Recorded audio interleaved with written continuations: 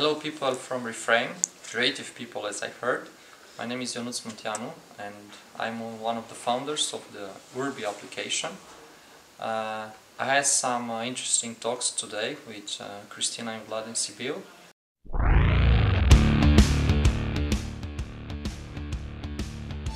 I would say that uh, it's a kind of a newspaper on its phone, but it's smarter than that because it will remind uh, him daily uh, about what's new and interesting for him in the city, like his uh, favorite events, popular music, whatever. Urby has to be personal. Urby is about you and your city life. It brings you daily suggestions like uh, where to have a coffee in the morning or where to have a quick uh, lunch and is constantly filtering for events that fits your profile. It contains a flux of information with what's new and trendy in the city and it's you have a list of local services in case you need maybe a pharmacy open at 4 a.m. in the morning or a car service if something bad happened with your car. Nevertheless, you can discover and find out new and interesting places or things to do by watching other people in your community. Tell me, what is creativity for you? It's a process in which I mix a level of intuition with a level of imagination. Uh, it's always a little bit of hard work and sweat and uh, patience when I uh, put things together or uh, create things. Is that I have some kind of knowledge from different areas, yes, fields. So uh, I'm passionate about construction, I'm passionate about uh, psychology or sociology, so mm -hmm. I take things from that I learn in other areas or industries, and I try to combine them in my my uh, in my work.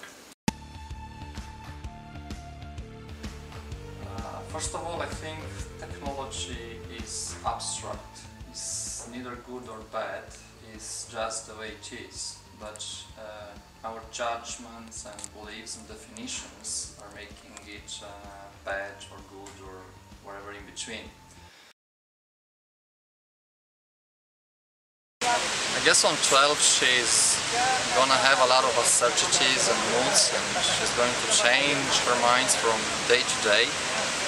But by 35, which we all agree that it's the age of maturity, we're probably going to see something predictable, something that we know how to work with and what to expect out of it.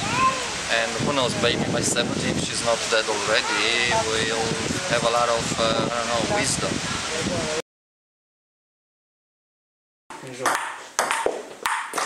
What was your biggest failure and how did you overcome it?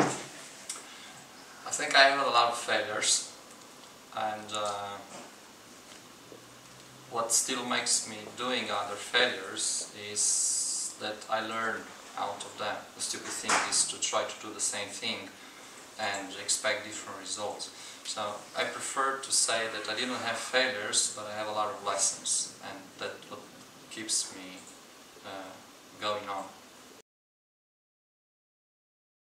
What does a creative business mean from your point of view? First of all, being creative in business means to understand people because whatever you do in business, in the end, you, you, you do, for, do for people. I think it's a it's a misjudgment here. A lot of people are consider uh, businesses and not something creative or I don't know in, in, in, the space of what we understand by art.